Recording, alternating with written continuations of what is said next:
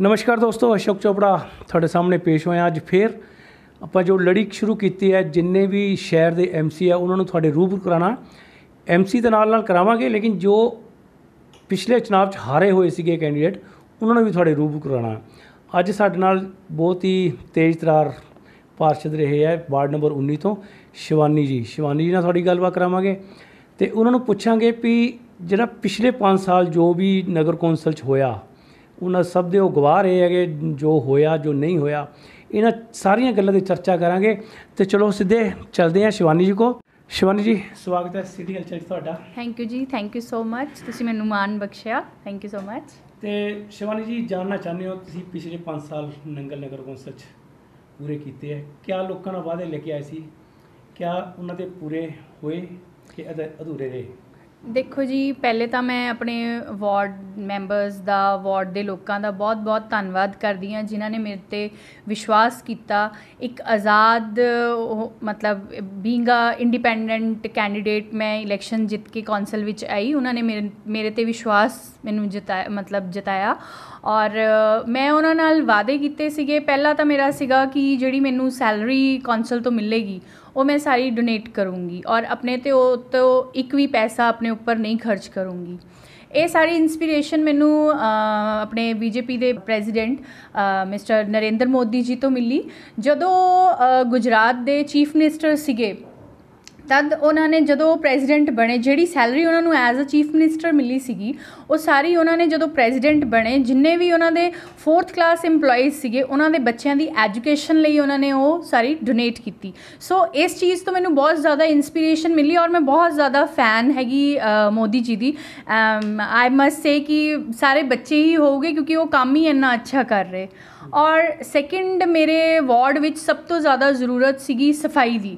ਜਿਹੜੀ ਕਿ ਅੱਜ ਤੱਕ ਕਿਸੇ ਨੇ ਵੀ ਨਹੀਂ ਕਰਾਈ। Means door to door garbage ਜਿਹੜਾ ਹੈਗਾ ਉਹ ਅੱਜ ਤੱਕ ਕਿਸੇ ਨੇ ਵੀ ਨਹੀਂ ਚੁਕਵਾਇਆ। ਔਰ ਮੈਂ ਇਹ ਵਾਅਦਾ ਕੀਤਾ ਸੀਗਾ ਕਿ ਮੈਂ ਸਫ਼ਾਈ ਦਾ ਮੇਨ ਧਿਆਨ ਰੱਖੂੰਗੀ ਕਿਉਂਕਿ ਸਾਡੇ ਕੌਂਸਲ ਦਾ ਮੇਨ ਮੋਟਿਵ ਹੀ ਇਹੀ ਹੈਗਾ ਸਫ਼ਾਈ ਸੀਵਰੇਜ ਤੇ ਪਾਣੀ ਔਰ ਇਲੈਕਟ੍ਰਿਸਿਟੀ ਇਲੈਕਟ੍ਰਿਸਿਟੀ ਪਾਣੀ ਔਰ ਜਿਹੜਾ ਸੀਵਰੇਜ ਹੈਗਾ ਉਹ ਸਾਰਾ ਬੀਬੀਐਮਬੀ ਦਾ ਹੈਗਾ। ਕੌਂਸਲ ਦੀ ਸਿਰਫ ਇੰਨੀ ਮੀਨਸ ਉਹ ਰਹਿ ਜਾਂਦੀ ਕਿ ਉਹ ਸਿਰਫ ਸਫ਼ਾਈ ਕਰਾਏ। ਬਟ ਸਾਡੇ ਕੌਂਸਲ ਵਿੱਚ ਕਦੇ ਵੀ ਉਹਨਾਂ ਨੇ ਮੋ- ਮਤਲਬ ਇਹ ਇਨੀਸ਼ੀਏਟਿਵ ਨਹੀਂ ਲਿਆ ਕਿ ਵਾਰਡ ਨੰਬਰ 19 ਵਿੱਚ ਕਦੇ ਸਫ਼ਾਈ ਕਰਾਈ ਜਾਵੇ। ਮੈਂ ਬਹੁਤ ਜ਼ਿਆਦਾ ਸੰਘਰਸ਼ ਕੀਤਾ ਕਿ ਮੈਨੂੰ ਕ- ਸਫ਼ਾਈ ਕਰਮਚਾਰੀ ਦਿੱਤੇ ਜਾਣ। ਬਟ ਮੈਨੂੰ ਹਮੇਸ਼ਾ ਡਿਨਾਈ ਕੀਤਾ ਜਾਂਦਾ ਸੀਗਾ। ਮੈਨੂੰ ਹਮੇਸ਼ਾ ਇਹ ਕਿਹਾ ਜਾਂਦਾ ਸੀਗਾ ਕਿ ਤੁਸੀਂ ਅ, ਤਾਂ ਬੀਬੀਐਮਬੀ ਵਾਰਡ ਤੋਂ ਹੈਗੇ ਬੀਬੀਐਮਬੀ ਵਾਰਡ ਦੀ ਤਾਂ ਸਿਰਫ ਬੀਬੀਐਮਬੀ ਹੀ ਸਫ਼ਾਈ ਕਰਵਾ ਸਕਦਾ। ਫਿਰ ਮੈਂ ਉਹਨਾਂ ਨੂੰ ਇਹ ਵੀ ਕੁਐਸਚਨ ਰਾਈਜ਼ ਕੀਤਾ ਕਿ ਜੇ ਉਹ ਬੀਬੀਐਮਬੀ ਵਾਰਡ ਹੈਗਾ, ਫਿਰ ਤੁਸੀਂ ਉੱਥੋਂ ਇਲੈਕਸ਼ਨਸ ਕਿਉਂ ਕਰਾਉਂਦੇ? ਤੁਸੀਂ ਉਹ ਇਲੈਕਸ਼ਨਸ ਵੀ ਉੱਥੋਂ ਐਮਸੀਜ਼ ਵੀ ਜਿਹੜੇ ਹੈਗੇ ਉਹ ਡਿਸੋਲਵ ਕਰਾਓ। ਉਹਨਾਂ ਨੂੰ ਇਲੈਕਸ਼ਨ ਲੜਨੇ ਦਾ ਹੱਕ ਹੀ ਨਹੀਂ ਹੈਗਾ ਜੇ ਤੁਸੀਂ ਸਫ਼ਾਈ ਨਹੀਂ ਕਰਾ ਸਕਦੇ। ਫਿਰ ਮੈਂ ਮੀਟਿੰਗਸ 'ਚ ਵੀ ਲੈ ਕੇ ਆਂਦਾ ਕਿ ਮੈਨੂੰ ਸਫ਼ਾਈ ਸੇਵਕ ਦਿੱਤੇ ਜਾਣ। ਮੇਰੇ ਵਾਰਡ ਵਿੱਚ ਦੋ ਸਫ਼ਾਈ ਸੇਵਕ ਦਿੱਤੇ ਜਾਂਦੇ ਸੀਗੇ। ਫਿਰ ਉਸ ਤੋਂ ਬਾਅਦ ਮੈਂ ਔਰ ਮੇਰੀ ਮੇਰੀ ਸਾਰੀ ਫੈਮਿਲੀ ਦਾ ਬਹੁਤ ਸਪੋਰਟ ਰਿਹਾ ਮੈਨੂੰ ਇਹ 5 ਸਾਲ ਔਰ ਆਈ ਹੋਪ ਕਿ ਹਮੇਸ਼ਾ ਰਹੇਗਾ। ਔਰ ਮੇਰੀ ਫੈਮਿਲੀ ਔਰ ਮੈਂ ਫਿਰ ਡਿਸਾਈਡ ਕੀਤਾ ਕਿ ਅਸੀਂ ਆਪਣੇ ਪੱਧਰ ਤੇ ਦੋ ਸਫ਼ਾਈ ਕਰਮਚਾਰੀ ਜਿਹੜੇ ਹੈਗੇ ਉਹ ਅਸੀਂ ਰੱਖਣੇ ਔਰ ਅਸੀਂ ਉਹਨਾਂ ਨੂੰ ਸ- ਮਤਲਬ ਰੇੜੀਆਂ ਲੈ ਕੇ ਦਿੱਤੀਆਂ ਔਰ ਜਿੰਨੇ ਵੀ ਇਨਸਟਰੂਮੈਂਟਸ ਚਾਹੀਦੇ ਸੀਗੇ ਸਫ਼ਾਈ ਲਈ, ਉਹ ਸਾਰੇ ਅਸੀਂ ਉਹਨਾਂ ਨੂੰ ਲੈ ਕੇ ਦਿੱਤੇ ਔਰ ਲਗਭਗ 2.5 ਸਾਲ ਅਸੀਂ ਦੋ ਸਫ਼ਾਈ ਸੇਵਕ ਆਪਣੀ ਫੈਮਿਲੀ ਦੀ ਹੈਲਪ ਨਾਲ ਮੀਨਸ ਕਿ ਸਾਰੀ ਪੇਮੈਂਟ ਜਿਹੜੀ ਸੀਗੀ ਉਹ ਉਹੀ ਕਰਦੇ ਸੀਗੇ। ਤੇ ਉਹ ਅਸੀਂ ਰੱਖੇ। ਔਰ ਆਈ ਹੋਪ ਕਿ ਮੇਰੇ ਵਾਰਡ ਵਿੱਚ ਹਮੇਸ਼ਾ ਸਫ਼ਾਈ ਰਹੀ ਆ ਔਰ ਡੋਰ ਟੂ ਡੋਰ ਗਾਰਬੇਜ ਜਿਹੜਾ ਹੈਗਾ ਉਹ ਚੱਕਿਆ ਗਿਆ। ਔਰ ਹਮੇਸ਼ਾ ਜਿਹੜੇ ਸਾਡੇ ਆਫੀਸਰਸ ਹੈਗੇ, ਉਹਨਾਂ ਨੇ ਮੈਨੂੰ ਕਿਉਂ ਇਹ ਤੰਗ ਕਰਨ ਦੀ ਕੋਸ਼ਿਸ਼ ਕੀਤੀ? ਬਿਕੋਜ਼ ਮੈਂ ਹਮੇਸ਼ਾ ਕਰਪਸ਼ਨ ਦੇ ਅਗੇਂਸਟ ਬੋਲਦੀ ਰਹੀ। ਉਹ ਹਮੇਸ਼ਾ ਚਾਹੁੰਦੇ ਸੀਗੇ, ਉਹਨਾਂ ਨੇ ਮੈਨੂੰ ਦਬਾਉਣ ਦੀ ਕੋਸ਼ਿਸ਼ ਕੀਤੀ ਕਿ ਮੈਂ ਨਾ ਬੋਲਾਂ ਸੋ ਦੈਟ ਉਹ ਮੈਨੂੰ ਸਫ਼ਾਈ ਕਰਮਚਾਰੀ ਦੇ ਦੂਗੇ।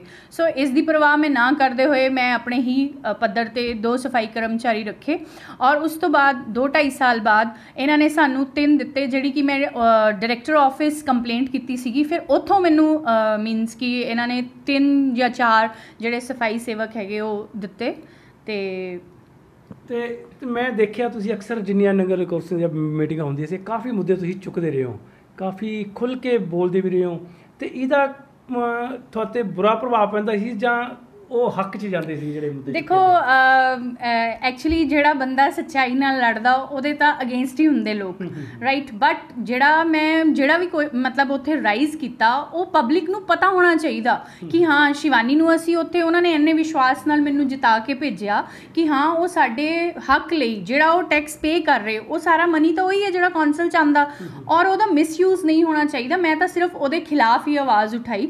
ਔਰ ਜਦ ਤੱਕ ਕਰਪਸ਼ਨ ਹੁੰਦੀ ਰਹੇਗੀ ਮੈਂ ਆਵਾਜ਼ ਉਠਾਉਂਦੀ ਰਹੂੰਗੀ। ਤੇ ਇੱਕ ਬਹੁਤ ਮੁੱਦਾ ਰਹਿੰਦਾ। ਕਰਪਸ਼ਨ ਦੇ ਤਾਂ ਅਕਸਰ ਆਰੋਪ ਲੱਗਦੇ ਆ ਨਗਰ ਕੌਂਸਲ ਲੇਕਿਨ ਸੱਤਾ ਪਕਸ਼ ਕਹਿੰਦਾ ਕਿ ਕਰਪਸ਼ਨ ਹੈ ਹੀ ਕੋਈ ਨਹੀਂ ਨਗਰ ਕੌਂਸਲ 'ਚ। ਦੇਖੋ ਮੈਂ ਕਰਪਸ਼ਨ ਦੇ ਬਹੁਤ ਸਾਰੇ ਮੁੱਦੇ ਹੈਗੇ ਜਿਹੜੇ ਸਭ ਤੋਂ ਪਹਿਲਾਂ ਤਾਂ ਤੁਸੀਂ ਲੈ ਲਓ ਸਵਿਮਿੰਗ ਪੂਲ ਦਾ।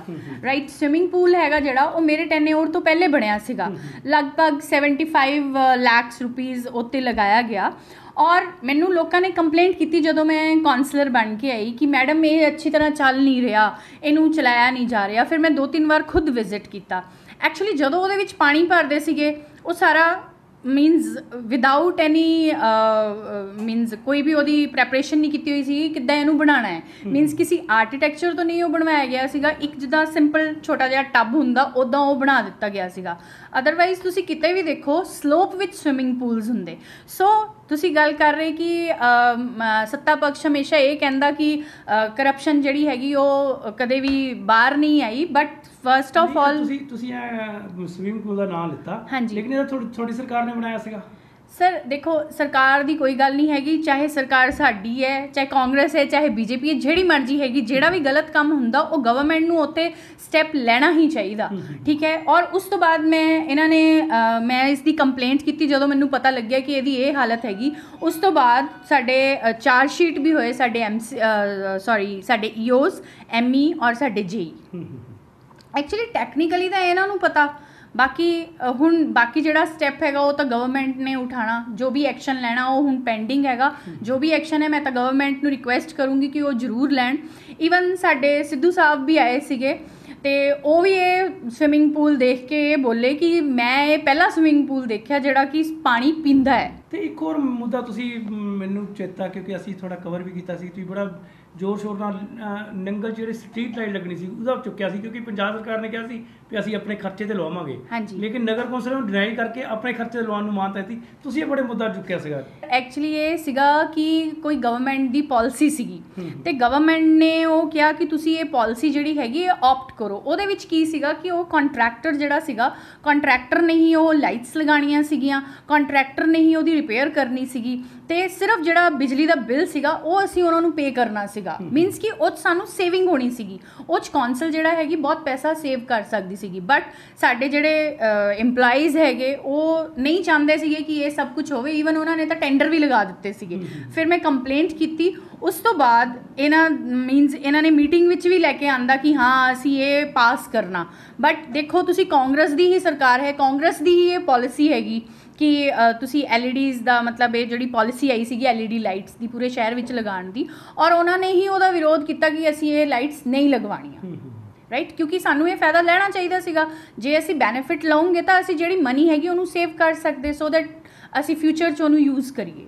ਤੇ ਇੱਕ ਹੋਰ ਬੜਾ ਮੁੱਦਾ ਜਿਹੜੇ ਤੁਹਾਡੇ ਵਿਰੋਧੀ ਆ ਉਹ ਲਾਉਂਦੇ ਆ ਕਿ ਜਿਹੜਾ ਤੁਹਾਡਾ 19 ਨੰਬਰ ਵਾਰਡ ਹੈ ਜ਼ਿਆਦਾਤਰ ਬੀਬੀਐਮਪੀ ਦਾ ਸੀਗਾ। ਬੀਬੀਐਮਪੀ ਨੂੰ ਵਿਕਾਸ ਤਾਂ ਤੁਸੀਂ ਕਹਿੰਦੇ ਕਰਵਾਇਆ ਨਹੀਂ ਕੋਈ ਵੀ?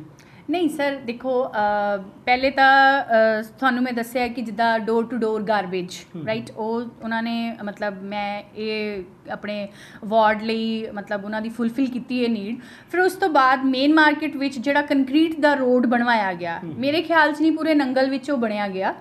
ਔਰ ਉਸ ਤੋਂ ਬਾਅਦ ਮੇਨ ਮਾਰਕੀਟ ਵਿੱਚ ਹੀ ਮੈਂ ਦੋ ਬਾਥਰੂਮਸ ਵੀ ਬਣਵਾਏ ਟਾਇਲਟਸ ਵੀ ਬਣਵਾਏ। ਬਾਕੀ ਲੋਕਾਂ ਦਾ ਵਿਸ਼ਵਾਸ ਹੈ ਮੇਰੇ ਤੇ ਕਿ ਹਾਂ, ਸ਼ਿਵਾਨੀ ਸਾਡੇ ਲਈ ਲੜਦੀ ਆ ਔਰ ਮੈਂ ਲੜਦੀ ਰਹੂੰਗੀ। ਤੇ ਇੱਕ ਹੋਰ ਬਹੁਤ ਜਿਹੜੇ ਤੁਹਾਡੇ ਵਿਰੋਧੀ ਲੋਕ ਹੈ ਇਹ ਵੀ ਰੋਕ ਲਾਉਂਦੇ ਕਿ ਤੁਸੀਂ ਵਾਰਡ ਨੰਬਰ 19 ਤੋਂ ਜਿੱਤੇ ਹੋ। ਲੇਕਿਨ ਤੁਸੀਂ ਰਹਿੰਦੇ ਇੱਥੇ ਨਹੀਂ ਨੰਗਲ ਚ ਆ ਗਏ ਹੋ। ਸਰ ਇਟ ਡਸਨਟ ਮੈਟਰ ਦੇਖੋ ਹੁਣ ਸਾਡੇ ਐਮਐਲਏਜ਼ ਹੈਗੇ ਜਿੰਨੇ ਵੀ ਹੈਗੇ ਉਹ ਕੋਈ ਲੋਕਲ ਤਾਂ ਰਹਿੰਦੇ ਨਹੀਂ। ਉਹ ਕੋਈ ਰੋਪੜ ਰਹਿੰਦਾ ਕੋਈ ਚੰਡੀਗੜ੍ਹ ਰਹਿੰਦਾ। ਹਾਂ ਲੇਕਿਨ ਜੀ- ਉਹ ਡਿਮਾਂਡ ਹੁੰਦੀ ਰਹਿੰਦੀ ਨਾ ਅਕਸਰ ਦੇਖੋ ਤੁਸੀਂ ਮੰਗ ਕਰਦੀ ਹੈ ਵੀ ਸਥਾਨੀय ਹੀ ਲੀਡਰ ਹੋਵੇ। ਇਹ ਵੀ ਡਿਮਾਂਡ ਬਰਾਬਰ ਹਾਂਜੀ ਦੇਖੋ ਮੈਂ ਉਹ ਲੋਕਾਂ ਨੂੰ ਇਹ ਜ਼ਰੂਰ ਕਹੂੰਗੀ ਵੀ ਜੇ ਉਹ ਆਪਣੇ ਸ਼ਹਿਰ ਤੋਂ ਬਾਹਰ ਦਾ ਬੰਦਾ ਜਿਤਾ ਸਕਦੇ ਤਾਂ ਮੈਨੂੰ ਕਿਉਂ ਨਹੀਂ? ਕਿਉਂਕਿ ਮੈਂ ਤਾਂ ਹਮੇਸ਼ਾ ਲੋਕਲ ਹੀ ਹੈਗੀ। ਔਰ ਕਿੰਨਾ ਹੈਗਾ ਸਾਡਾ 5 ਕਿਲੋਮੀਟਰ ਦੇ ਵਿੱਚ ਫੈਲਿਆ ਹੋਇਆ ਤੇ ਤੁਸੀਂ ਮੀਨਸ ਜਦੋਂ ਮੈਨ- ਉਹਨਾਂ ਨੂੰ ਮੇਰੀ ਜ਼ਰੂਰਤ ਹੋਈ ਮੈਂ ਹਮੇਸ਼ਾ ਖੜੀ ਹੋਈ।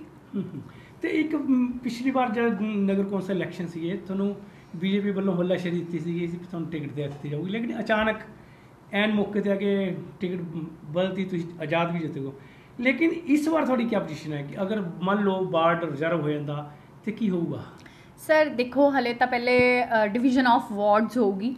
ਉਸ ਤੋਂ ਬਾਅਦ ਮੈਂ ਡਿਸਾਈਡ ਕਰੂੰਗੀ ਬਾਕੀ ਲੋਕਾਂ ਦੀ ਡਿਮਾਂਡ ਹੋਊਗੀ ਲੋਕ ਮੈਨੂੰ ਜਿੱਥੋਂ ਕਹੂਗੇ I am always there for them ਅਗਰ ਪਾਰਟੀ ਟਿਕਟ ਦਿੰਦੀ ਹੈ ਤਾਂ ਚੁਣਾਵ ਲੜੋਗੇ ਕਿ ਅਗਰ ਨਹੀਂ ਦਿੰਦੀ ਤਾਂ ਵੀ ਆਜ਼ਾਦੀ ਲੜਨਾ ਲੜਨਾ ਨਹੀਂ ਨਹੀਂ ਸਰ ਮੈਂ ਲੜੂੰਗੀ ਮਤਲਬ ਮੈਂ ਇੰਡੀਪੈਂਡੈਂਟ ਵੀ ਲੜੂੰਗੀ ਪਹਿਲੇ ਵੀ ਮੈਂ ਐਜ਼ ਅ ਇੰਡੀਪੈਂਡੈਂਟ ਹੀ ਜਿੱਤ ਕੇ ਆਈ ਲੋਕਾਂ ਨੂੰ ਮੇਰੇ ਤੇ ਵਿਸ਼ਵਾਸ ਸੀਗਾ ਲੋਕਾਂ ਨੇ ਮੈਨੂੰ ਜਿਤਾਇਆ ਸੋ ਆਈ ਹੋਪ ਕਿ ਲੋਕਾਂ ਨੂੰ ਹੁਣ ਵੀ ਮੇਰੇ ਤੇ ਵਿਸ਼ਵਾਸ ਹੋਏਗਾ ਤੇ ਕਿੱਦਾਂ ਦੇ ਮੁੱਦੇ ਲੈ ਕੇ ਆਉਂਗੇ ਇਸ ਵਾਰ ਜਿਹੜੇ ਤੁਸੀਂ ਇਲੈਕਸ਼ਨ ਜਾਓਗੇ ਕੀ ਮੁੱਦੇ ਹੋਊਗੇ ਤੁਹਾਡੇ? ਸਰ ਦੇਖੋ ਕਰਪਸ਼ਨ ਤਾਂ ਮੇਨ ਰਹੇਗੀ ਹੀ ਰਹੇਗੀ। ਜਿੱਥੇ ਕਰਪਸ਼ਨ ਹੋਏਗੀ ਮੈਂ ਉੱਥੇ ਬੋਲੂੰਗੀ ਹੀ ਬੋਲੂੰਗੀ। ਔਰ ਮੈਂ ਇਹ ਵੀ ਦਾਵਾ ਕਰਦੀ ਹਾਂ ਕਿ ਤੁਸੀਂ ਅੱਜ ਇਨਕੁਆਇਰੀ ਬਿਠਾ ਲਓ ਇੱਥੇ ਸੀਬੀਆਈ ਦੀ ਜਾਂ ਸਿਟਿੰਗ ਜੱਜ ਆਫ ਹਾਈ ਕੋਰਟ ਦੀ। ਜੇ ਇੱਥੇ ਸਾਡੀ ਕੌਂਸਲ 'ਚ ਨਾ ਕੋਈ ਕਰਪਸ਼ਨ ਦਾ ਕੋਈ ਕੋਈ ਵੀ ਸਕੈਂਡਲ ਨਿਕਲਿਆ ਤਾਂ ਮੈਂ ਇਲੈਕਸ਼ਨ ਨਹੀਂ ਲੜੂੰਗੀ। ਤੇ ਤੁਸੀਂ ਅਸੀਂ ਅਕਸਰ ਦੇਖਦੇ ਨੇ ਕਾਫੀ ਤੁਸੀਂ ਬੁਲੰਦ ਆਵਾਜ਼ ਨਾਲ ਬੋਲਦੇ ਰਹੇ ਹੋ ਇੱਥੇ। ਭ੍ਰਸ਼ਟਾਚਾਰ ਸ਼ਿਕਾਇਤਾਂ ਆਸੇ-ਪਾਸੇ ਕੀਤੀਆਂ ਜਾਂ ਇਹ ਜਿਹੜੀਆਂ ਤੁਸੀਂ ਸ਼ਿਕਾਇਤਾਂ ਕਰਦੇ ਵੀ ਸੀਗੇ ਇਹ ਤੇ ਕਦੀ ਅਮਲ ਹੋਇਆ? ਦੇਖੋ ਸਵਿਮਿੰਗ ਪੂਲ ਦਾ ਉਹ ਇਨਕੁਆਇਰੀਜ਼ ਪੈਂਡਿੰਗ ਹੈਗੀਆਂ ਬਾਕੀ ਜਿਹੜੇ ਵੀ ਐਕਸ਼ਨਸ ਹੈਗੇ ਉਹ ਤਾਂ ਗਵਰਨਮੈਂਟ ਨੇ ਲੈਣੇ। ਤੁਸੀਂ ਲਾਈਟ ਵਾਲਾ ਮੁੱਦਾ ਚੁੱਕਿਆ ਸੀ ਇਹਦੇ ਬਾਰੇ। ਕੁਝ ਕਾਰਵਾਈ ਹੋਈ ਹੈ? ਹਾਂਜੀ ਸਰ ਹੋਈ ਹੈ ਇਹਦੇ ਬਾਰੇ ਵੀ ਬਟ ਗਵਰਨਮੈਂਟ ਨੇ ਹੁਣ ਅੱਗੇ ਸਟੈਪਸ ਲੈਣੇ। ਮੇਰੀ ਤਾਂ ਹੈਗੀ ਕਿ ਮੈਂ ਗਵਰਨਮੈਂਟ ਨੂੰ ਅਵੇਅਰ ਕਰਾਣਾ ਕਿ ਹਾਂ ਇਹ ਸਭ ਚੀਜ਼ਾਂ ਜਿਹੜੀਆਂ ਹੈਗੀਆਂ ਇਹ ਕਰਪਸ਼ਨ ਜਿਹੜੀ ਹੈਗੀ ਇੱਥੇ ਹੋ ਰਹੀ। ਜਿਹੜੀ ਮੈਂ ਬਹੁਤ ਅਗੇਂਸਟ ਹੈਗੀ। ਐਕਚੁਅਲੀ ਇਹਨਾਂ ਨੇ ਟੈਂਡਰਸ ਜਿਹੜੇ ਐਲਈਡੀ ਦੇ ਸੀਗੇ ਉਹ ਲਗਾਤੇ ਸੀਗੇ ਔਰ ਉਹ ਕੈਨਸਲ ਵੀ ਹੋਏ ਹੈ ਇਸੇ ਕਰਕੇ ਕਿਉਂਕਿ ਮੈਂ ਸ਼ਿਕਾਇਤ ਕੀਤੀ ਸੀ। ਮਤਲਬ ਤੁਹਾਨੂੰ ਲੱਗਦਾ ਵੀ ਤੁਹਾਡੀ ਸ਼ਿਕਾਇਤ ਦਾ ਅਸਰ ਹਾਂਜੀ। ਹੁੰਦਾ ਵੀ ਸੀਗਾ। ਹਾਂਜੀ ਸਰ ਮੈਂ ਐਕਚੁਅਲੀ ਡਾਇਰੈਕਟਰ ਆਫਿਸ ਬਹੁਤ ਟਾਈਮ ਵਿਜ਼ਿਟ ਵੀ ਕੀਤੀ। ਮੈਂ ਡਾਇਰੈਕਟਰ ਸਾਹਿਬ ਨੂੰ ਵੀ ਮਿਲੀ ਹੈ ਬਹੁਤ ਵਾਰ ਜਾ ਕੇ ਔਰ ਮੈਂ ਉਹਨਾਂ ਨੂੰ ਸਾਰੀਆਂ ਪ੍ਰੋਬਲਮਸ ਵੀ ਦੱਸੀਆਂ। ਹੈ ਤੇ ਸ਼ਿਵਾਨੀ ਜੀ ਕਿੱਦਾਂ ਲੱਗਦਾ ਤੁਹਾਨੂੰ ਵੀ ਘਰ ਦਾ ਵੀ ਦੇਖਣਾ ਤੇ ਲੋਕਾਂ ਨਾਲ ਮਿਲਣਾ ਗਿਲਣਾ ਨਗਰ ਕੌਂਸਲ ਦੀਆਂ ਮੀਟਿੰਗ ਅਟੈਂਡ ਕਰਨੀਆਂ ਇਹ ਕਿੱਦਾਂ ਮੈਨੇਜ ਕਰਦੇ ਹੋ ਤੁਸੀਂ? Sir actually it's all support of my family ਮੇਰੇ ਫਾਦਰ ਇਨ ਲਾ ਮੇਰੇ ਇਨ ਲਾਜ਼ ਮੇਰੇ ਹਸਬੈਂਡ ਸਾਰੇ ਬਹੁਤ ਸਪੋਰਟਿਵ ਹੈ। ਇਸ ਕਰਕੇ ਮੈਂ ਸਾਰਾ ਮੈਨੇਜ ਕਰ ਪਾਂਦੀ ਔਰ ਨੋ ਡਾਊਟ ਮੈਂ ਜੇ ਸਕੂਲ ਵੀ ਜਾਂਦੀ ਹੈ ਤਾਂ ਮੈਨੂੰ ਸਕੂਲੋਂ ਵੀ ਸਾਡੇ ਡਾਇਰੈਕਟਰ ਸਰ ਵੱਲੋਂ ਮੈਨੂੰ ਬਹੁਤ ਜ਼ਿਆਦਾ ਸਪੋਰਟ ਦਿੱਤੀ ਜਾਂਦੀ ਸ਼ਿਵਾਨੀ ਜੀ ਇੱਕ ਬੜਾ ਮੁੱਦਾ ਸੀਗਾ ਕਿ ਕਿ ਪ੍ਰੈਸ ਨੂੰ ਜਿਹੜਾ ਨੰਗਲ ਨਗਰ ਕੌਂਸਲ ਦੀ ਜਿਹੜੀ ਮੀਟਿੰਗਾਂ ਅਟੈਂਡ ਕਰਨ ਵਾਸਤੇ ਬੈਨ ਕੀਤਾ ਗਿਆ ਸੀਗਾ। ਤੁਸੀਂ ਇਹਦੇ ਬਾਰੇ ਕੀ ਪ੍ਰਯਾਸ ਕੀਤਾ ਕਿ ਜਿਹੜੀ ਪ੍ਰੈਸ ਹੈ ਉਹ ਮੀਟਿੰਗ ਨੂੰ ਕਵਰ ਕਰ ਸਕੇ? ਐਕਚੁਅਲੀ ਸਰ ਦੇਖੋ, ਸਾਡੇ ਲੋਕ ਸਭਾ ਵਿੱਚ, ਰਾਜ ਸਭਾ ਵਿੱਚ ਸਭ ਜਗ੍ਹਾ ਜਿਹੜੀ ਹੈਗੀ ਪ੍ਰੈਸ ਦੀ ਕੋਈ ਐਂਟਰੀ ਬੈਨ ਨਹੀਂ ਹੈ। ਮੈਂ ਜਦੋਂ ਇੱਥੇ ਕਾਉਂਸਲਰ ਬਣ ਕੇ ਆਈ ਕੌਂਸਲ 'ਚ, ਤਾਂ ਮੈਂ ਦੇਖਿਆ ਕਿ ਜਦੋਂ ਸਾਡੀ ਮੀਟਿੰਗ ਸਟਾਰਟ ਹੋਣੀ, ਤਾਂ ਜਿੰਨੇ ਵੀ ਸਾਡੇ ਪ੍ਰੈਸ ਮੈਂਬਰਸ ਹੁੰਦੇ ਸੀਗੇ, ਸਾਰਿਆਂ ਨੂੰ ਬਾਹਰ ਬਿਠਾ ਦਿੱਤਾ ਜਾਂਦਾ ਸੀਗਾ ਔਰ ਡੋਰ ਬੰਦ ਕਰ ਦਿੱਤਾ ਜਾਂਦਾ ਸੀਗਾ। ਕਿਉਂ? ਕਿਉਂਕਿ ਮੈਂ ਤਾਂ ਇਹ ਹਮੇਸ਼ਾ ਰਾਈਜ਼ ਕੀਤਾ ਕੁਐਸਚਨ ਕਿ ਇਹਨਾਂ ਨੂੰ ਹਮੇਸ਼ਾ ਐਂਟਰੀ ਜਿਹੜੀ ਹੈਗੀ ਉਹ ਦੇਣੀ ਚਾਹੀਦੀ ਸੋ ਦੈਟ ਸਾਡੇ ਲੋਕਾਂ ਨੂੰ ਪਤਾ ਲੱਗੇ ਕਿ ਸਾਡਾ ਜਿਹੜਾ ਚੁਣਿੰਦਾ ਨੁਮਾਇੰਦਾ ਹੈਗਾ, ਅਸੀਂ ਚੁਣ ਕੇ ਭੇਜਿਆ ਹੋਇਆ, ਉਹ ਸਾਡੇ ਲਈ ਲੜਾਈ ਲੜ ਰਿਹਾ ਹੈ ਜਾਂ ਨਹੀਂ ਲੜ ਰਿਹਾ। ਔਰ ਮੈਂ ਇਹਦੇ ਲਈ ਹਾਈ ਕੋਰਟ ਵਿੱਚ ਲਿਟੀਗੇਸ਼ਨ ਵੀ ਫਾਈਲ ਕੀਤੀ ਹੈ। ਸੋ ਆਈ ਹੋਪ ਕਿ ਉਹ ਹਲੇ ਪੈਂਡਿੰਗ ਹੈਗਾ, ਉਹਦਾ ਡਿਸੀਜਨ ਆਣਾ ਔਰ ਮੈਨੂੰ ਪੂਰੀ ਹੋਪ ਹੈ ਕਿ ਜਿਹੜੀ ਮਤਲਬ ਕੋਰਟ ਹੈਗੀ, ਉਹ ਸਾਡੇ ਹੱਕ ਵਿੱਚ ਹੀ ਕਰੇਗੀ। ਮੀਨਸ ਕਿ ਜਿਹੜਾ ਨੈਕਸਟ ਟੈਨਿਓਰ ਆਏਗਾ, ਉਹਦੇ ਵਿੱਚ ਜਿਹੜੀ ਪ੍ਰੈਸ ਹੈ, ਉਹਨੂੰ ਐਂਟਰੀ ਜਿਹੜੀ ਹੈਗੀ, ਉਹ ਜ਼ਰੂਰ ਮਿਲੇਗੀ। ਤੇ ਇੱਕ ਹੋਰ ਤੁਸੀਂ ਮੁੱਦਾ ਅਕਸਰ ਚੁੱਕੀ ਜਾਂਦੇ ਹੋ ਕਿ ਜਿਹੜੇ ਐਮਸੀਆਂ ਦੀ ਕੁਆਲੀਫਿਕੇਸ਼ਨ ਹੈ ਇਹਨੂੰ ਤੈਅ ਕੀਤਾ ਜਾਵੇ ਵੀ ਹਾਂ ਵੀ ਇੰਨੀ ਹੋਣੀ ਚਾਹੀਦੀ। ਇਹ ਮੁੱਦਾ ਤੁਸੀਂ ਚੁੱਕਿਆ ਇਹ ਤੇ ਕੀ ਕਾਰਵਾਈ ਹੋਈ ਹੋਈ ਸਰ? ਐਕਚੁਅਲੀ ਜਦੋਂ ਮੈਂ ਕੌਂਸਲ ਵਿੱਚ ਆਈ ਤਾਂ ਮੈਂ ਦੇਖਿਆ ਕਿ ਜਿਹੜੇ ਸਾਡੇ ਆਫੀਸਰਸ ਹੈਗੇ ਉਹ ਕਾਉਂਸਲਰਸ ਤੇ ਥੋਪਦੇ ਹੈ ਕਿ ਹਾਂ ਅਸੀਂ ਇਹ ਵਾਲਾ ਏਜੰਡਾ ਪਾਤਾ ਤਾਂ you have to pass it ਕਿ ਤੁਸੀਂ ਇਹਨੂੰ ਪਾਸ ਕਰਨਾ। ਕਿਉਂ? ਕਿਉਂਕਿ ਉਹ ਪੜ ਕੇ ਨਹੀਂ ਆਂਦੇ ਆਈ ਆਈ ਥਿੰਕ ਸੋ ਕਿ ਉਹ ਮਤਲਬ ਥਰੂ ਆਊਟ ਗੋ ਥਰੂ ਨਹੀਂ ਹੋ ਕੇ ਆਂਦੇ ਬਿਕਾਜ਼ ਮੈਂ ਤਾਂ ਇੱਕ ਇੱਕ ਏਜੰਡਾ ਗੋ ਥਰੂ ਹੋ ਕੇ ਜਾਂਦੀ। ਫਿਰ ਮੈਂ ਮਤਲਬ ਇਹ ਸੋਚਿਆ ਕਿ ਇਹ ਚੀਜ਼ ਜਿਹੜੀ ਹੈਗੀ ਹੈ ਗਵਰਨਮੈਂਟ ਨੂੰ ਜ਼ਰੂਰ ਅਪੀਲ ਕਰਨੀ ਚਾਹੀਦੀ ਕਿ ਇਹਨਾਂ ਦੀ ਜਿਹੜੀ ਕੁਆਲੀਫਿਕੇਸ਼ਨ ਹੈ ਉਹ ਫਿਕਸ ਕੀਤੀ ਜਾਣੀ ਚਾਹੀਦੀ। ਔਰ ਦੇਖੋ ਜਿਹੜੀ ਤੁਹਾਡੀ ਕੁਆਲੀਫਿਕੇਸ਼ਨ ਫਿਕਸ ਹੋਏਗੀ ਦੈਨ ਦ ਕਰਪਸ਼ਨ ਜਿਹੜੀ ਹੈਗੀ ਉਹ ਜ਼ਰੂਰ ਘਟੇਗੀ। ਹੂੰ, ਤੇ ਇਹ ਵੀ ਦੇਖਿਆ ਪਿਛਲੀ ਨਗਰ ਕੌਂਸਲ ਦੀ ਜਿਹੜੀਆਂ ਮੀਟਿੰਗਾਂ ਹੋਣੀਆਂ ਚਾਹੀਦੀਆਂ ਸੀ ਜਿੰਨੀਆਂ ਹੋਣੀਆਂ ਚਾਹੀਦੀਆਂ ਸੀ ਉਨੀਆਂ ਨਹੀਂ ਹੋਈਆਂ ਹਾਂਜੀ, ਘੱਟ ਹੋਈਆਂ। ਹਾਂਜੀ, ਹਾਂਜੀ। ਇਹਦੇ ਨਾਲ ਲੱਗਦਾ ਕਿ ਵਿਕਾਸ ਜਿਹੜਾ ਹੋਣਾ ਚਾਹੀਦਾ ਉਹ ਪ੍ਰਭਾਵਿਤ ਹੋ ਗਿਆ ਹਾਂਜੀ ਸਰ ਅ, ਜ਼ਰੂਰ ਉਹ ਪ੍ਰਭਾਵਿਤ ਹੋਇਆ ਹੈ ਦੇਖੋ ਜਿਹੜਾ ਜਿੰਨਾ ਗ੍ਰਾਫ ਹੈਗਾ ਉਹ ਸਾਡਾ ਬਹੁਤ ਡਾਊਨ ਗਿਆ ਐਕਚੁਅਲੀ 2015 ਵਿੱਚ ਸਾਡੀਆਂ ਨਾਰਮਲ ਮੀਟਿੰਗਸ ਜਿਹੜੀਆਂ ਹੈਗੀਆਂ ਉਹ ਨੀਅਰ ਅਬਾਊਟ 10 ਹੋਈਆਂ ਔਰ ਜਿਹੜਾ ਸਪੈਸ਼ਲ ਮੀਟਿੰਗਸ ਹੈ, ਉਹ 3 ਹੋਈਆਂ। ਮੀਨਸ ਕਿ ਟੋਟਲ ਸਾਲ ਵਿੱਚ ਸਾਡੀਆਂ 13 ਮੀਟਿੰਗਸ ਹੋਈਆਂ। ਔਰ ਜੇ ਤੁਸੀਂ ਉਹੀ ਕੰਪੇਅਰ ਕਰੋ 17 ਵਿੱਚ 2017 ਵਿੱਚ, ਸਾਡੀਆਂ ਨਾਰਮਲ ਮੀਟਿੰਗਸ 6 ਹੋਈਆਂ ਔਰ ਸਪੈਸ਼ਲ ਮੀਟਿੰਗਸ 2 ਮੀਨਸ ਕਿ ਟੋਟਲ 8 ਮੀਟਿੰਗਸ ਹੋਈਆਂ। ਉਹੀ ਜੇ ਹੁਣ ਅਸੀਂ ਕੰਪੇਅਰ ਕਰੀਏ 19 ਵਿੱਚ 2019 ਵਿੱਚ, ਉਹਦੇ ਵਿੱਚ ਸਾਡੀ ਨਾਰਮਲ ਮੀਟਿੰਗਸ ਜਿਹੜੀਆਂ ਹੈਗੀਆਂ 4 ਹੋਈਆਂ ਤੇ ਜਿਹੜੀ ਸਪੈਸ਼ਲ ਮੀਟਿੰਗ ਹੈ ਉਹ ਇੱਕ ਹੋਈ। ਮੀਨਸ ਕਿ ਟੋਟਲ ਮੀਟਿੰਗ ਸਾਡੀਆਂ ਪੂਰੇ ਸਾਲ ਵਿੱਚ ਪੰਜ ਹੋਈਆਂ, ਜਿਹੜੀ ਕਿ ਇੱਕ ਜਿਹੜਾ ਮਿਊਨਿਸਪਲ ਕੌਂਸਲ ਐਕਟ ਹੈਗਾ ਸਾਡਾ, ਉਹਦੇ ਵਿੱਚ ਸਾਨੂੰ ਹੈਗਾ ਕਿ ਤੁਸੀਂ ਮਹੀਨੇ ਦੀ ਇੱਕ ਮੀਟਿੰਗ ਜ਼ਰੂਰ ਕਰਾਣੀ ਹੈਗੀ। ਈਵਨ ਦੋ ਕਿ ਤੁਸੀਂ ਦੋ ਵੀ ਕਰਵਾ ਸਕਦੇ। ਮੀਨਸ ਸਪੈਸ਼ਲ ਮੀਟਿੰਗ ਜੇ ਹੈਗੀ ਤਾਂ ਤੁਸੀਂ ਐਕਸਟਰਾ ਵੀ ਕਰਵਾ ਸਕਦੇ ਬਟ ਸਾਡੀ ਤਾਂ ਮੀਟਿੰਗਸ ਹੀ ਟੋਟਲ ਪੰਜ ਹੋਈਆਂ। ਔਰ 2020 ਵਿੱਚ ਤਾਂ ਸਾਡੀ ਇੱਕ ਮੀਟਿੰਗ ਹੋਈ ਸਪੈਸ਼ਲ ਦੈਟਸ ਇਟ ਮੀਨਸ ਕਿ ਸਾਡਾ ਜਿਹੜਾ ਗ੍ਰਾਫ ਹੈ, ਉਹ ਡਿੱਗਦਾ ਹੀ ਗਿਆ। ਐਕਚੁਅਲੀ ਇੱਕ ਤਾਂ ਬਹੁਤ ਵੱਡਾ ਇੱਕ ਹੋਰ ਵੀ ਸਕੈਂਡਲ ਸੀਗਾ ਈਪੀਐਫ ਦਾ। ਰਾਈਟ ਉਹ ਵੀ ਮੈਂ ਚੁੱਕਿਆ ਸੀਗਾ। ਉਹਦੇ ਵਿੱਚ ਕੀ ਸੀਗਾ ਕਿ ਸਾਡਾ ਜਿਹੜਾ ਕੰਟਰੈਕਟਰ ਮਤਲਬ ਜਿਹੜਾ ਇੱਕ EMPLOYEE ਹੈ, ਜਿਹੜੇ ਆਊਟਸੋਰਸ ਤੇ ਰੱਖੇ ਜਾਂਦੇ। ਸਫ਼ਾਈ ਸੇਵਕ ਹੋ ਗਏ, ਸਾਡੇ ਮਾਲੀ ਹੋ ਗਏ, ਸਾਡੇ ਟੀਚਰਸ ਹੋ ਗਏ। ਉਹ ਸਾਡੀ ਕੌਂਸਲ ਜਿਹੜੀ ਹੈਗੀ ਕੁਝ ਸ਼ੇਅਰ ਜਿਹੜਾ ਹੈਗਾ, ਉਹ ਪਾਉਂਦੀ ਔਰ ਕੁਝ ਸ਼ੇਅਰ ਜਿਹੜਾ ਹੈਗਾ ਉਹ EMPLOYEE ਦਾ ਹੁੰਦਾ। ਉਹ ਜਿਹੜਾ ਕੌਂਸਲ ਦਾ ਸ਼ੇਅਰ ਹੁੰਦਾ, ਉਹ ਕੰਟਰੈਕਟਰ ਨੂੰ ਦੇ ਦਿੱਤਾ ਜਾਂਦਾ। ਬਟ ਇਹਨਾਂ ਨੇ ਕੀ ਕੀਤਾ? ਕੰਟਰੈਕਟਰ ਨੇ ਨਾ ਉਹ ਸ਼ੇਅਰ ਜਿਹੜਾ ਕੌਂਸਲ ਤੋਂ ਆਇਆ, ਨਾ ਉਹ ਦਿੱਤਾ, ਨਾ ਹੀ ਜਿਹੜਾ EMPLOYEE ਦਾ ਸ਼ੇਅਰ ਸੀਗਾ, ਨਾ ਉਹ ਦਿੱਤਾ। ਮੀਨਸ ਕਿ ਉਹਨਾਂ ਉਹਦਾ EPF ਜਿਹੜਾ ਸੀਗਾ, ਉਹਨਾਂ ਨੇ ਉਹਨੂੰ ਬਣਾ ਕੇ ਨਹੀਂ ਦਿੱਤਾ EPF ਅਕਾਊਂਟ ਵਿੱਚੋਂ। ਤੇ ਉਸ ਤੋਂ ਬਾਅਦ ਮੈਂ ਇਹਦੀ ਸ਼ਿਕਾਇਤ ਵੀ ਕੀਤੀ ਤੇ ਉਸ ਤੋਂ ਬਾਅਦ ਇਹ ਏਜੰਡਾ ਵੀ ਆਇਆ ਸਾਡੇ ਮੀਟਿੰਗ ਵਿੱਚ ਕਿ ਜਿਹੜਾ 1 ਕਰੋੜ 95 ਲੱਖ ਰੁਪਇਆ ਜਿਹੜਾ ਹੈਗਾ ਕਿ ਇਹ ਕੌਂਸਲ ਪੇ ਕਰੇਗੀ। ਫਿਰ ਮੈਂ ਉਸ ਟਾਈਮ ਫਿਰ ਰੇਜ਼ ਕੀਤਾ ਇਹ ਕੁਐਸਚਨ ਕਿ ਕੌਂਸਲ ਕਿਉਂ ਪੇ ਕਰੇਗੀ? ਬਿਕੋਜ਼ ਕੌਂਸਲ ਤਾਂ ਆਲਰੇਡੀ ਦੇ ਚੁੱਕੀ ਹੈ ਕੰਟਰੈਕਟਰਸ ਨੂੰ ਪੈਸਾ। ਫਿਰ ਉਸ ਤੋਂ ਬਾਅਦ ਹੁਣ ਮੀਨਸ ਕਿ ਇਹ ਡਿਸਾਈਡ ਹੋਇਆ ਕਿ ਜਿਹੜੇ ਕੰਟਰੈਕਟਰਸ ਹੈਗੇ they will pay 올 the money ਜਿਹੜੀ ਵੀ ਸੀਗੀ ਉਹਨਾਂ ਦੀ ਪੈਂਡਿੰਗ ਮੀਨਸ ਜਿਹੜੀ ਉਹਨਾਂ ਨੇ ਲਈ ਸੀਗੀ ਉਹ ਸਾਰੀ ਜਿਹੜੀ ਹੈਗੀ ਪੇ ਰਿਕਵਰੀ ਜਿਹੜੀ ਹੈਗੀ ਉਹ ਸਾਰੀ ਕੰਟਰੈਕਟਰਸ ਕਰੂਗੇ। ਔਰ ਜਦੋਂ ਹੁਣ ਕੋਵਿਡ ਸੀਗਾ ਕੋਵਿਡ 19 ਉਸ ਵਿੱਚ ਵੀ ਮੈਂ ਸਫ਼ਾਈ ਸੇਵਕਾਂ ਦੀ ਇੰਸ਼ੋਰੈਂਸ ਲਈ 50 ਲੱਖ ਰੁਪੀਸ ਦੀ ਡਿਮਾਂਡ ਕੀਤੀ ਸੀਗੀ ਗਵਰਨਮੈਂਟ ਨੂੰ ਰਿਪਰੈਜ਼ੈਂਟੇਸ਼ਨ ਆਪਣੀ ਦਿੱਤੀ ਸੀਗੀ ਕਿ ਉਹਨਾਂ ਦੀ ਕੀ ਸਿਕਿਉਰਿਟੀ ਹੈ ਮੀਨਸ ਕਿ ਉਹ ਐਨੇ ਉਹ ਮੁਸ਼ਕਿਲ ਟਾਈਮ ਵਿੱਚ ਕੰਮ ਕਰ ਰਹੇ ਲੋਕਾਂ ਨੂੰ ਸਫ਼ਾਈ ਮੁਹੱਈਆ ਕਰਾ ਰਹੇ। ਔਰ ਫਿਰ ਮੈਂ ਗਵਰਨਮੈਂਟ ਨੂੰ ਲੈਟਰ ਲਿਖੀ ਸੀਗੀ ਕਿ ਇਹਨਾਂ ਦੀ ਇੰਸ਼ੋਰੈਂਸ ਜਿਹੜੀ ਹੈਗੀ ਅਰਾਊਂਡ ਅਬਾਊਟ 50 ਲੱਖਸ ਹੋਣੀ ਚਾਹੀਦੀ। ਤੇ ਇੱਕ ਬੜਾ ਮੁੱਦਾ ਗਰਮਾਦਾ ਰਿਹਾ ਅਕਸਰ ਜਿਹੜੇ ਸਫ਼ਾਈ ਕਰਮਚਾਰੀ ਆ ਰੈਗੂਲਰ ਨਹੀਂ ਕੀਤੇ ਜਾ ਰਹੇ। ਹਾਂਜੀ। ਕੱਚੇ ਕਰਮਚਾਰੀ ਆ। ਤੁਸੀਂ ਵੀ ਇਹ ਮੁੱਦਾ ਚੁੱਕਦੇ ਰਹੇ ਹੋ? ਹਾਂਜੀ। ਲੇਕਿਨ ਕੁਝ ਹੁੰਦਾ? ਸਰ ਐਕਚੁਅਲੀ ਦੇਖੋ ਇਹ ਤਾਂ ਗਵਰਨਮੈਂਟ ਨੂੰ ਚਾਹੀਦਾ। ਗਵਰਨਮੈਂਟ ਵਾਅਦੇ ਕਰਦੀ ਕਿ ਅਸੀਂ ਇਹਨਾਂ ਨੂੰ ਏਮਪਲੋਇਮੈਂਟ ਦਵਾਂਗੇ ਔਰ ਜੇ ਉਹ ਏਮਪਲੋਇਮੈਂਟ ਦਊਗੇ ਤਾਂ ਆਬਵੀਅਸਲੀ ਬਹੁਤ ਸਾਰੇ ਲੋਕਾਂ ਨੂੰ ਏਮਪਲੋਇਮੈਂਟ ਮਿਲੇਗੀ। ਉਹਦੇ ਵਿੱਚ ਸਾਡੇ ਇਹ ਵੀ ਵਿੱਚ ਹੀ ਆਊਗਾ। ਔਰ ਮੈਂ ਇਹ ਬਹੁਤ ਵਾਰੀ ਇਹਨਾਂ ਨੂੰ ਕਿਹਾ ਕਿ ਜਿਹੜੇ ਸਫ਼ਾਈ ਕਰਮਚਾਰੀ ਹੈਗੇ ਸਾਡੇ, ਉਹ ਰੈਗੂਲਰ ਕੀਤੇ ਜਾਣ, ਨਾ ਕਿ ਕੰਟਰੈਕਟ ਕੇ ਕੀਤੇ ਜਾਣ। ਉਹ ਕੀ ਹੁੰਦਾ ਕਿ ਜਦੋਂ ਇੱਕ ਸਰਕਾਰ ਹੈ, ਉਹਨੇ ਆਪਣੇ ਬੰਦੇ ਰੱਖ ਲੈਣੇ। ਫਿਰ ਉਹ ਜਿਹੜੀ ਸਫਰ ਹੈਗੀ, ਉਹ ਸਾਡੀ ਆਮ ਪਬਲਿਕ ਕਰਦੀ। ਬਿਕੋਜ਼ ਉਹਨਾਂ ਟਾਈਮ ਉਹ ਖਾਲੀ ਰਹਿੰਦੀਆਂ ਸੀਟਸ ਇਸ ਕਰਕੇ ਉਹਨਾਂ ਨੂੰ ਇਨਸਟੈਡ ਆਫ ਕੰਟਰੈਕਟ ਉਹਨਾਂ ਨੂੰ ਰੈਗੂਲਰ ਬੇਸਿਸ ਤੇ ਕਰਨਾ ਚਾਹੀਦਾ। ਇੱਕ ਵਿਆਹ ਸ਼ਾਦੀਆਂ ਲੋਕਾਂ ਨੂੰ ਕਰਨ ਵਾਸਤੇ ਬੜੀ ਤੰਗੀ ਹੁੰਦੀ ਹੈ। ਕੋਈ ਜ਼ਿਆਦਾ ਕਮਿਊਨਿਟੀ ਹਾਲ ਹੈ ਨਹੀਂ। ਜਿਹੜੇ ਨਗਰ ਕੌਂਸਲ ਦੇ ਹੈ, ਉਹਨਾਂ ਦੀ ਦਸ਼ਾ ਬਹੁਤ ਖਰਾਬ ਹੈ। ਹਾਂਜੀ। ਕਦੀ ਪ੍ਰਯਾਸ ਨਹੀਂ ਕੀਤਾ ਕਿ ਇਹ ਵੀ ਮੁੱਦਾ ਚੁੱਕਿਆ ਜਾਵੇ? ਸਰ ਨਹੀਂ ਐਕਚੁਅਲੀ ਮੈਂ ਇਹ ਵੀ ਬਹੁਤ ਮੁੱਦਾ ਚੁੱਕਿਆ। ਹੁਣ ਜਿਹੜਾ ਕੌਂਸਲ ਦੇ ਨਾਲ ਹੈਗਾ ਉਹ ਚ ਕਾਫੀ ਇੰਪਰੂਵਮੈਂਟ ਹੋ ਰਹੀ ਹੈ। ਮੀਨਸ ਉਹਦਾ ਆਊਟਲੁੱਕ ਵੀ ਚੇਂਜ ਕੀਤਾ ਗਿਆ ਹੈ ਇੰਟੀਰੀਅਰ ਵੀ ਉਹਦਾ ਚੇਂਜ ਕੀਤਾ ਗਿਆ ਹੈ। ਸੋ ਲੈਟਸ ਸੀ ਜਦੋਂ ਬਣ ਕੇ ਤਿਆਰ ਹੋਊਗਾ ਤਾਂ ਕਿੱਦਾਂ ਦਾ ਬਣਦਾ ਹੈ। ਤੇ ਉਸ ਤੋਂ ਬਾਅਦ ਸਰ ਮੈਂ ਇੱਕ ਐਂਟੀ ਡਿਫੈਕਸ਼ਨ ਲਾਅ ਦੀ ਗੱਲ ਜ਼ਰੂਰ ਕਰੂੰਗੀ ਕਿ ਇਹਨਾਂ ਨੇ ਦੇਖੋ ਆਪਣੀ ਕੁਰਸੀ ਬਚਾਉਣ ਲਈ ਜਿੱਤ ਕੇ ਆਏ ਇਹ ਬੀਜੇਪੀ ਤੋਂ ਔਰ ਆਪਣੀ ਕੁਰਸੀ ਬਚਾਉਣ ਲਈ ਇਹਨਾਂ ਨੇ ਕਾਂਗਰਸ ਜੁਆਇਨ ਕਰ ਲਈ ਰਾਈਟ ਫਿਰ ਉਹ ਜਿਹੜਾ ਹੈਗਾ, ਉਹ ਉਹਨਾਂ ਤੇ ਐਂਟੀ ਡਿਫੈਕਸ਼ਨ ਲਾਅ ਜਿਹੜਾ ਹੈਗਾ, ਉਹ ਜ਼ਰੂਰ ਐਮਸੀਸ ਤੇ ਵੀ ਲੱਗਣਾ ਚਾਹੀਦਾ। ਐਮਪੀਜ਼ ਔਰ ਐਮਐਲਏਸ ਤੇ ਤਾਂ ਲੱਗਦਾ ਹੀ ਹੈਗਾ। ਇਹ ਐਮਸੀਸ ਤੇ ਵੀ ਲੱਗਣਾ ਚਾਹੀਦਾ ਔਰ ਬੀਇੰਗ ਅ ਚੇਅਰਮੈਨ ਉਹਨਾਂ ਦੇ ਤਾਂ ਜ਼ਰੂਰ ਲੱਗਣਾ ਚਾਹੀਦਾ ਹੈ। ਸ਼ਿਵਾਨੀ ਜੀ, ਇੱਕ ਬੜਾ ਮੁੱਦਾ ਚੁੱਕਿਆ ਅੱਜ ਕੱਲ ਗਰਮਾਦਾ ਜਾ ਰਿਹਾ ਕਿਉਂਕਿ ਕਈ ਵਾਰ ਕਈ ਦੇਸ਼ਾਂ 'ਚ ਦੇਖਿਆ ਕਿ ਡਾਇਰੈਕਟ ਰਾਸ਼ਟਰਪਤੀ ਚੁਣਾਵ ਹੁੰਦੇ ਲੇਕਿਨ ਸਾਡੇ ਭਾਰਤ 'ਚ ਤਾਂ ਨਹੀਂ ਹੈ। ਲੇਕਿਨ ਇਹ ਕਈ ਜਗ੍ਹਾ ਹਿਮਾਚਲ 'ਚ ਐਸਾ ਹੋ ਰਿਹਾ ਕਿ ਜਿਹੜੇ ਨਗਰ ਕੌਂਸਲ ਦੇ ਚੋਣ ਹੈ ਉਹ ਡਾਇਰੈਕਟ ਪ੍ਰਧਾਨ ਦੇ ਵਾਸਤੇ ਹੋਣ ਤੇ ਐਮਸੀ ਦੇ ਅਲੱਗ ਹੋਣ। ਕਿ ਐਦਾਂ ਦੀ ਕਦੀ ਡਿਮਾਂਡ ਨਹੀਂ ਹੁੰਦੀ?